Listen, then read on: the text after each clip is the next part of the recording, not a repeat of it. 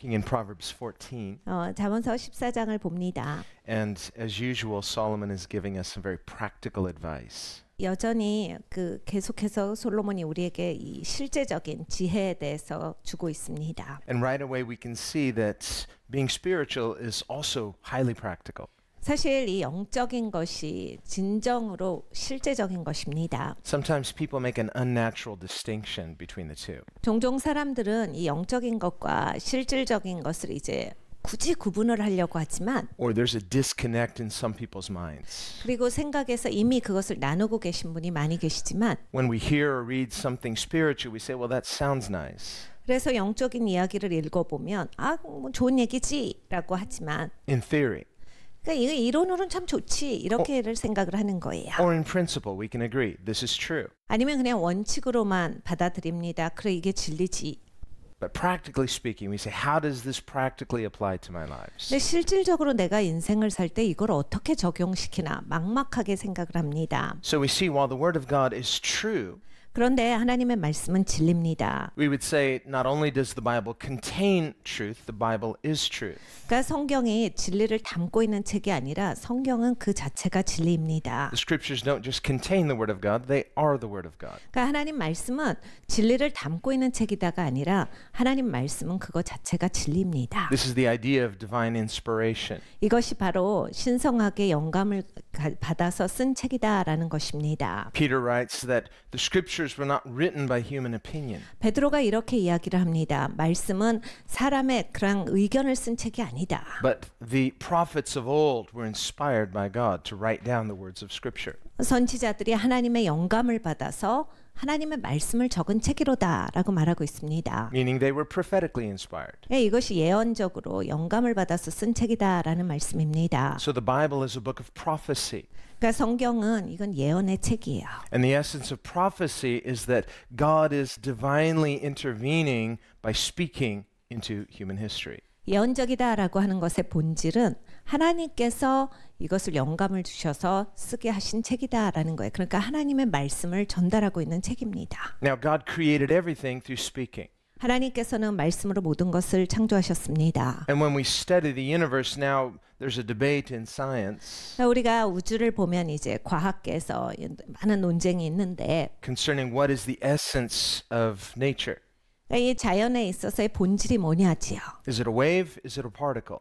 그러니까 이것이 무슨 파장이냐 아니면 어떤 물질이냐. But when we study nature, we find that at its very essence that the smallest, whatever the smallest unit of nature is, behaves very much like sound. 그런데 이제 과학계가 발견한 것은 이 자연계에 있어서 아주 작은 가장 작은 입자를 연구해 보면 이것이 꼭 소리의 파장과 같은 것이다라고 하는 것을 발견했어요. And this would correspond with what Scripture says how God created by speaking. 이것은 성경과 같이 가는 그런 발견이지요. 하나님께서 말씀으로 모든 것을 창조하셨기 때문입니다. In other words, creation is God's declaration. He's saying something through what He's made. 그러니까 창조라고 하는 것은 하나님께서 하나님이 발표를 하신 거예요. 그래서 하나님의 말씀으로서 이것이 생겨난 겁니다. So God is a God who communicates. 하나님은 의사소통하시는 하나님이십니다. And as a God who communicates, we find that God, in His essence, is personal. 그러니까 하나님이 의사소통을 하시면서 하나님의 인격이시다를 보여주시는 거예요. David writes, The heavens declare the glory of God, and the earth declares His handiwork. 어, 다윗이 이렇게 선포합니다. 하 늘이 하나님의 영광을 선포하는도다. 그리고 이 땅이 하나님의 행하신 하나님의 손에 영광을 올려드리는도다. Day unto day utter speech. 낮이 낮에게 말을 하고 In other words, God is speaking through what He's made. 하나님이 계속 말씀을 하시는 거예요. 피조 세계를 통해서. Do we have ears to hear? 근데 우리가 듣는 귀가 있습니까? Or do we turn a blind eye? 어, 아니면 내가 또이 돌이키는 그러한? Are we unwilling to hear what God is trying to say to us? 하나님이 말씀하시는 거에 대해서 듣기 싫어합니까? So we can just know through what God has made that there is a good God who has created everything. 하나님 만드신 걸 보면 이 좋은 것을 만드신 좋은 하나님이 계시다라는 것을 인지할 수 있어요. But God created everything before man sinned. 근데 하나님께서 이 모든 것을 만드신 건 사람이 죄를 짓기 이전입니다. So within creation itself is not communicating to us God's plan of salvation through the gospel. 그래서 피조 세계만 봐서는 사람이 그 다음에 죄를 지었기 때문에 구원에 대해서 하나님께서 구원의 역사를 베푸실 거다를 거기에서는 메시지를 받지를 못해요. Because this came after creation. 왜냐하면 모든 창조 끝나고 나서 인간이 죄를 짓기 때문입니다. This necessitates further communication, God communicating to us after creation. 그래서 하나님께서 창조 이후에 더 우리에게 의사소통을 해주셨어야 되는 거예요. 그 인간이 타락하고 나서 어떻게 하나님이 하실 건가를 하나님이 보여주셨어야 되는 겁니다. This is why we have the further communication, divine communication through the scriptures. 그래서 하나님이 말씀이라고 하는 이러한 신성한 의사소통을 우리에게 해주셨어요. God in his goodness has further communicated to us beyond creation itself. 그러니까 하나님께서 의사소통을 해주신 거예요. 이 창조한 그 피조 세계 그 더 나아가서 우리에게 말씀으로써 의사소통을 해주신 거예요. to communicate to us the hope and the promise of salvation. 아, 구원의 약속, 구원의 소망에 대해서 말씀을 통해서 우리에게 보여주셨습니다. The hope and promise of resurrection, 부활에 대한 소망을 말씀으로 가르쳐 주셨어요. of forgiveness and eternal life. 용서에 대한 소망 그리고 영원한 삶에 대한 것을 가르쳐 주셨어요. So we continually see the goodness of God in all that He communicates. 그러니까 하나님의 의사소통하시는 것을 보면 하나님의 은혜의 연속이에요. Now, just think if God had not given us further communication through the scriptures. 여러분 한번 이걸 상상해 보세요. 하나님께서 말씀을 주시지 않았어요. 그래서 우리가 더 이상 알 수 있는 게 없어요. Already hardened sinners, they mock God.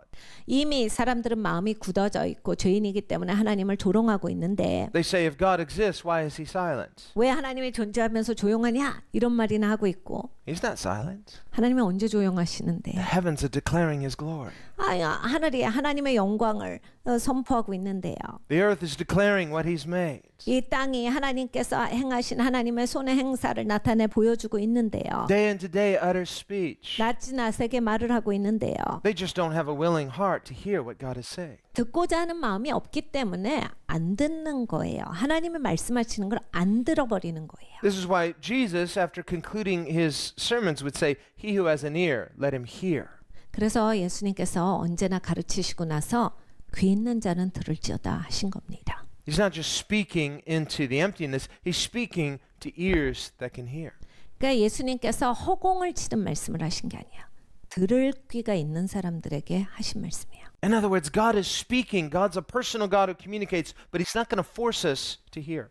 그러니까 무슨 얘기냐면 하나님은 인격적이시라 우리에게 계속 커뮤니케이션을 해주시지만 그를 듣고자 하는 그 귀가 들을 것이다예요. Do you and I have a willingness to hear What God wants to say? 그러니까 여러분과 제가 정말 하나님 말씀하시는 것을 내가 듣기를 원합니다라고 하는 마음이 있는가예요. So faith begins with the will. 그러니까 여러분 믿음이라고 하는 것은 의지부터 시작입니다. Do I have a willingness to hear God? 내가 하나님을 듣고자 하는 마음이 있는가? Do I have a willingness to know God, a willingness to love God? 내가 하나님 알기를 원하는가? 내가 하나님을 사랑하기를 원하는 마음이 있는가예요. We have to recognize there's something unnatural that changed man's nature through the fall. 여러분 사람이 타락함으로써 인간에게는 부자연스러운 역사가 생겼어요. Before Adam and Eve sinned, loving God was the most natural thing. 아, 아담과 하와가 죄를 짓기 전에는 하나님 사랑하는 게 너무 당연하고 쉬운 거였어요. But when they sinned, they were essentially loving themselves above God. 근데 죄를 지은 핵심이 이제 하나님보다 자기를 더 사랑한 거잖아요. 하나님 위에 자기를 둔 거잖아요. This too is how Satan fell.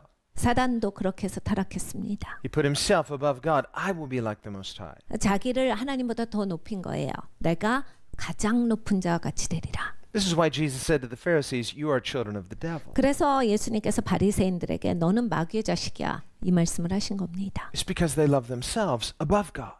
그러니까 자기를 사랑함이 하나님 사랑함보다 위에 있었기 때문이에요. And in loving themselves above God, their love of God was only an outward form.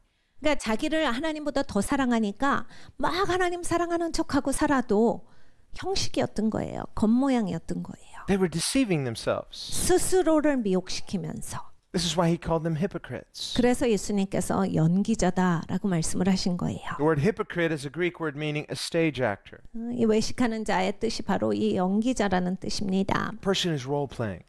그러니까 연기하는 거 역할극을 하는 거야. 자기가 그런 사람처럼. So we see the essence of hypocrisy is role playing. 그러니까 이러한 외식의 근본은 역할극이에요. It's something God hates because it deceives ourselves. 하나님은 이걸 너무 미워하세요. 왜냐하면 나 자신을 내가 속이는 것이기 때문에 하나님 미워하세요. God hates hypocrisy because he loves our soul. 하나님은 우리 영혼을 진짜 사랑하시기 때문에 이러한 외식함을 미워하십니다. And in loving our souls, he hates anything that will destroy us. 그러니까 하나님은 우리를 너무 사랑하시기 때문에 우리가 파괴되는 것은 그 근원이 뭐든지 간에 다 미워하세요. Hypocrisy destroys because it deceives like nothing else can. 그러니까 이런 외식함은 우리를 망가뜨립니다. 나를 미혹시키거든요. 내가 나한테 속아요. 그렇기 때문에 나를 멸망시킵니다. And in being deceived, a hypocrite can be the most sincere person, yet they're sincerely wrong. 그러니까 여러분 이 외식이라고 하는 건 진짜 이건 무서운 거예요. 자기 신실한 줄 알거든요. 근데 아닌데 신실한 줄 아니까 완전히 속는 거죠. 그러니까 신실하게 틀린 거예요. Many of the people who cried out, Crucify him, they were very sincere. 여러분 수많은 사람들이 예수를 십자가에 못 박으라 못 박으라 못 박으라 합니다. 굉장히 진실성 있게 얘기했어요. They were sincerely wrong. 아주 진실되게 틀린 사람들이었죠. They were deceived. 속은 거예요. But they were so sure that they were right. 근데 너무나 확신에 차 있었어요. So this is the most dangerous of all. When a person in his own self righteousness is so assured of his own righteousness. 여러분 이게 제일 위험합니다. 그냥 자기 의에 충만해 가지고 자기가 완전히 틀렸음에도 자기 확신에 꽉 찬 사람들. 그래서 정말 진실되게 자기가 갖고 있는 자기 의를 믿는 사람들. 이게 진짜 위험한 거예요. So there's a type of outward form of righteousness that can give a person a false sense of security, but it deceives and condemns. 아, 자기는 괜찮고 안전하고 이렇게 생각이 되는 거예요. 가짜 안전함이죠.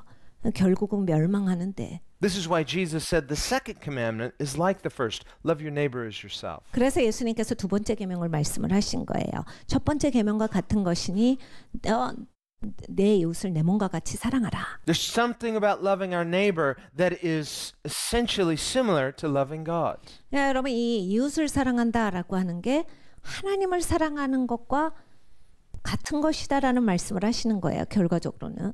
What do we mean when we say we love God? 여러분 우리가 하나님을 사랑한다라고 하는 것 그렇게 이야기를 하는데 그게 무슨 뜻이에요? We must understand the character of this God that we claim to love. 여러분 우리가 사랑한다라고 하나님께 말씀드리면 적어도 하나님 성품을 좀 알아야 되겠죠. And we see this character fully embodied in Jesus, 여러분이 하나님의 성품은 예수님께 그대로 보여주는 거예요. who is God in human form. 예수님은 하나님으로서 육신을 가지고 오신 분이시기 때문입니다. This is why Jesus says, Follow me. 그래서 예수님께서 가르쳐 주셨죠. 나를 따르라. He doesn't only say, Believe in me, He tells us, Believe in me. Whoever believes in me has everlasting life. 예수님께서 나를 믿어라만 말씀하신 건 아니야. 누구든지 나를 믿는 자는 영원한 생명을 얻으리라도 말씀하셨지만 나를 따르라라고도 말씀을 하셨어요. But what does it mean to believe in Jesus? 예수님 믿는 게 무슨 뜻입니까? Well, it first of all, it includes believing in what he has done. 그러니까 예수님을 믿는다라고 하는 것은 예수님이 하신 일을 믿는다가 포함이 되어지고 What he alone can do, he did on our behalf. 우리를 대신해서 예수님만이 하실 수 있는 일을 예수님은 하셨습니다. He died for unrighteous sinners. 예수님은 불의한 죄인을 위해서 죽으셨어요. He took our penalty, he took our place. 예수님은 죄의 대가를 지불해 주셨습니다. 우리의 자리에서 죽으셨어요. He became a curse so that we might be forever blessed. 우리가 영원토록 축복을 누리게 하기 위해서 예수님은 우리의 자리에서 저주받으셨습니다. This is the unique work of Christ that only he can do. 예수님만이 하실 수 있는 예수님의 공로예요. And yet this same Christ says to us, follow me. 네, 그 예수님이 우리에게 말씀하시기를 나를 따르라 하셨어요. There's to be an attraction to Christ. 여러분 예수님께 매력이 느껴지셔야 돼요. Otherwise, what does it mean to love God? What does it mean to love Christ? 그러니까 여러분 이 예수님을 사랑하고 하나님을 사랑한다가 예수님께 매력이 느껴지지 않는다면 도대체 무슨 뜻이에요? This too is why Jesus said, the eye is the lamp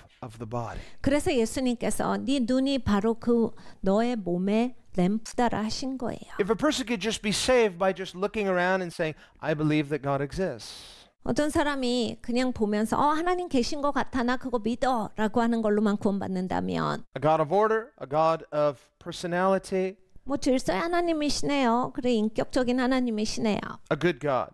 좋은 하나님이시네요. So why do I need to believe in Jesus? 에, 그런데 왜 내가 예수를 꼭 믿어야 돼요? If it were possible for a person to be saved that way, why would it be necessary for Jesus to come? 어, 그것으로 충분하다면 예수님이 왜 오셨겠습니까? But it was necessary for Jesus to come. 근데 예수님이 오셨어야 했거든요. First, to bear our sins On the cross, to take our place. 첫 번째로는 우리의 죄의 대가를 우리의 자리에서 치러 주신 거예요. It was necessary, not from God's perspective, He wasn't obligated. It was necessary from our perspective. If we were to be saved, it required this. 이것이 하나님 입장에서는 꼭 있어야 되는 일은 아니에요. 그런데 우리 입장에서 보면 예수님이 그걸 해 주셔야만 우리가 구원받을 수 있었던 겁니다. But there's a secondary aspect. 그런데 이제 두 번째 측면이 It's 있어요. so that we could see who God is, so that we could understand who is this God who seeks to redeem us. 우리가 하나님을 이해할 수 있게 해주신 거예요. 우리가 아는 그 하나님은 어떤 하나님인가? 이렇게 우리를 속량하시기를 원하고 이렇게 사랑하시는 하나님이다. 이걸 보여주신 거예요. So that in seeing Him, we could repent and love Him for who He is. 그러니까 우리가 예수님을 그렇게 봄으로써 예수님을 사랑하게 되는 거예요. 회개하게 되는 거예요. And in loving Him for who He is, that we could become changed. 그러니까 예수님이 누구신지를 봤기 때문에 우리가 예수님을 사랑하게 되고 그럼으로써 바뀝니다. Jesus said, No greater love has anyone than this, that a man lay down his life for his friends. 예수님께서 사람이 친구를 위하여 자기 목숨을 내려놓는 것보다 더 큰 사랑이 없다라 가르쳐 주셨어요. When we think about the shortness of life, 여러분 우리의 인생이 상당히 짧아요. think about your own life. 여러분 인생 한번 생각해 보세요. Usually people don't like to think of the shortness of their own life. 어, 내 인생 짧다 이런 얘기는 보통 다 하고 싶어하지 않고 우리 Most people- 인생을 생각해 보는 걸 싫어합니다. Just live in this illusion like, well, I'm going to live forever. 어, 마치 영원히 사는 것처럼 우리는 생각하면서 보통 살아가요. Just like this, in this life, I'm never going to get old. I'm going to every day enjoying my life just like this forever. 그러니까 늙지도 않고 계속해서 이게 유지되는 것처럼 나는 이런 식으로 쭉 살 거야 이런 사고가 우리한테는 있어요.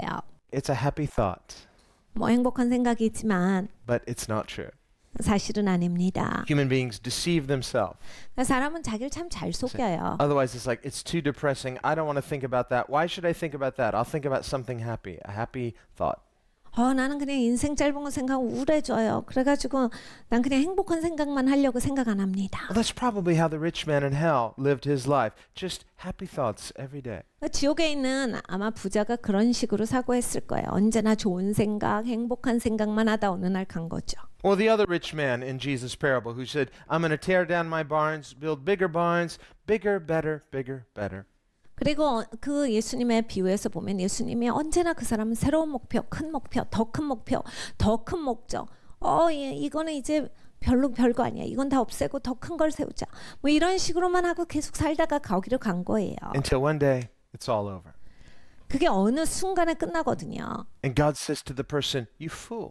하나님께서 그 사람에게 말씀하신 너 참 어리석다. You didn't live for what is really meaningful. 너 진짜로 의미 있는 삶을 살지를 못하였구나. You're self deceived.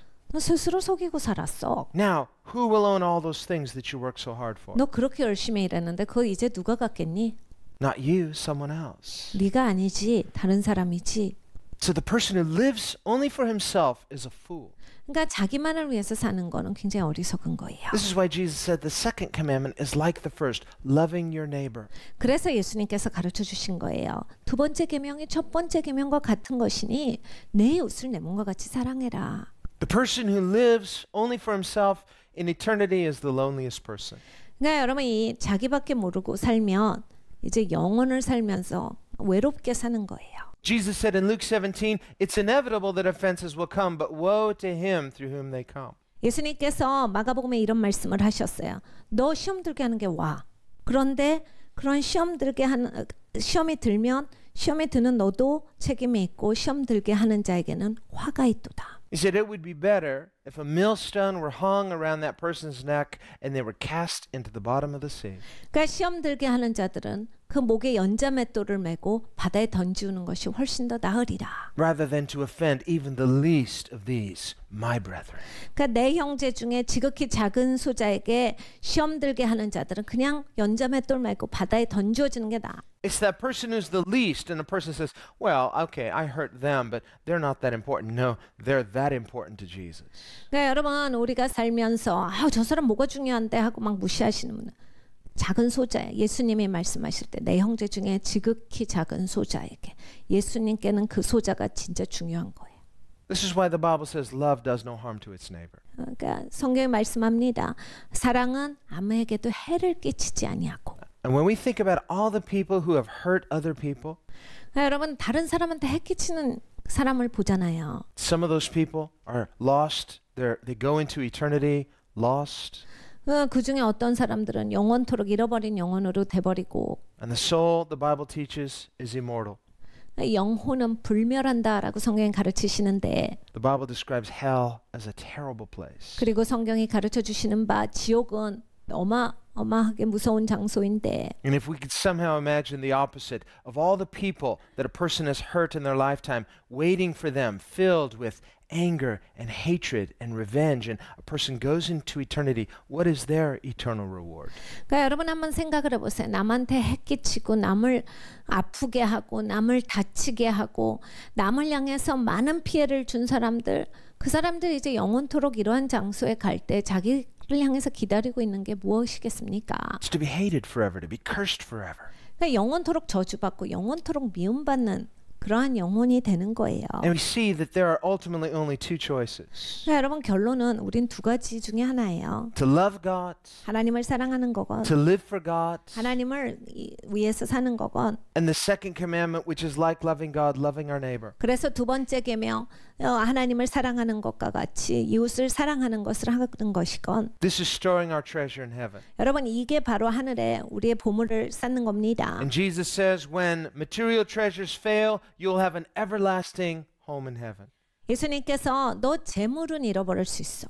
물질은 잃어버릴 수 있지만 네 영원한 집이 하늘에 있다라 하셨어요. Because through the grace of God, you've learned to invest in true treasure. 하나님의 은혜로 말미암아서 우리가 진정한 보물을 어, 시- 향해서 시- 쌓는 데 배웠기 때문입니다. So we see these things are highly practical. 여러분 이런 건 진짜 굉장히 실질적인 얘기예요. How we live today will make an eternal difference. 여러분 오늘 어떻게 사느냐가 우리의 영혼을 바꿉니다. We are not to be simple minded, but we are to be wise concerning this. 여러분 우리가 단순하게 살 수 없어요. 굉장히 지혜롭게 사셔야 합니다. So that as Christians, in looking to Jesus, 여러분 우리 기독교인들은 예수님 바라보면서 살아야 돼요. in believing in Jesus, 예수님 믿고 in trusting in Him, 예수님 신뢰하고 in following Him from the heart by faith, 마음으로부터 믿음으로 예수님 따라가고 Jesus leads us into His character. 예수님은 우리를 예수님의 성품으로 이끌어 주십니다. He leads us into a different lifestyle, a different value. 예수님은 우리를 다른 가치를 가지도록 가르쳐 주세요. 그리고 예수님 같이 사는 삶 가운데로 우리를 인도해 주세요. Where instead of trying to calculate how can I have advantages, how can I get for myself, we're looking at how can I invest heavenly treasure in others. 여러분 언제나 인생을 내가 이렇게 하면 나한테 뭐가 좋은데 내가 이렇게 해서 나에게 돌아오는 게 뭐가 있지? 나한테는 뭐가 유익하지? 계속 계산만 하는 인생이 아니라 우리의 인생 가운데서 아 내가 어떻게 심을까? 내가 어떻게 쌓을까? 이런 생각을 하고 우리는 살아야 되, 되는 겁니다. How can I serve? 내가 어떻게 섬길까? How can I love? 내가 어떻게 사랑할까? How can I bless? 내가 어떻게 축복하고 살아갈까? And when we live this way, then it cannot help but come back to us. 여러분 우리가 이렇게 살아갈 때 반드시 우리에게로 돌아옵니다. Then we are truly blessed. 그리고 그것이 진정한 축복입니다.